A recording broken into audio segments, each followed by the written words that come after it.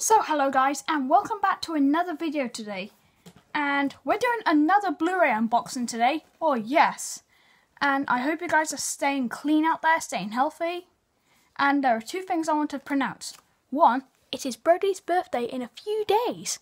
So I'm going to be vlogging that one. And today we have a special Blu-ray unboxing today.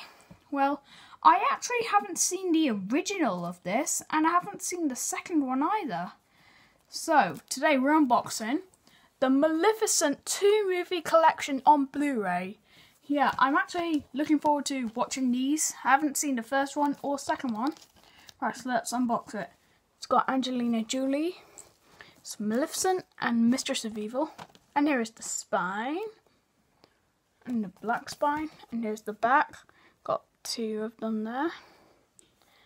And if you want to pause all that stuff and read it, go right ahead.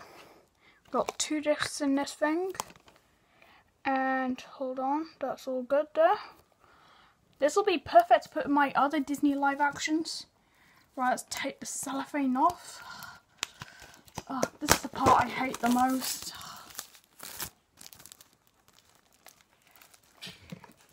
Hold on. Oh. Oh, it's hard. There we go. So we got plastic off. Okay, so here are the two Blu-rays.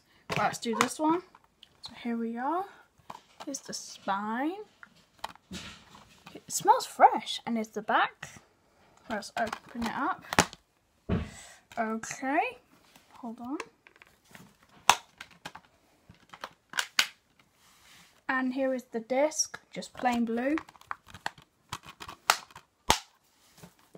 Next we have Mistress of Evil. And here is the spine. Here's the back. We got all that stuff there.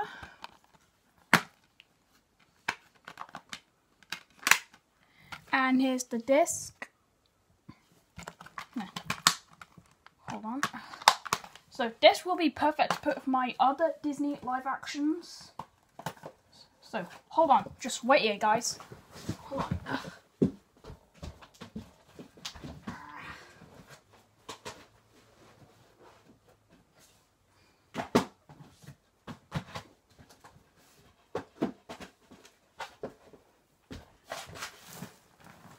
Alright guys, here are the rest of my Disney live actions. Jungle Book, Beauty the Beast, Aladdin, Lion King, Dumbo.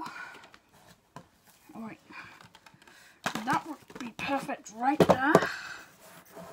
There we go. That lines up pretty good actually, don't you think? I kind of like that. So guys, I hope you enjoyed this unboxing. If you did, smash that like button and I hope you guys stay healthy. So, bye-bye.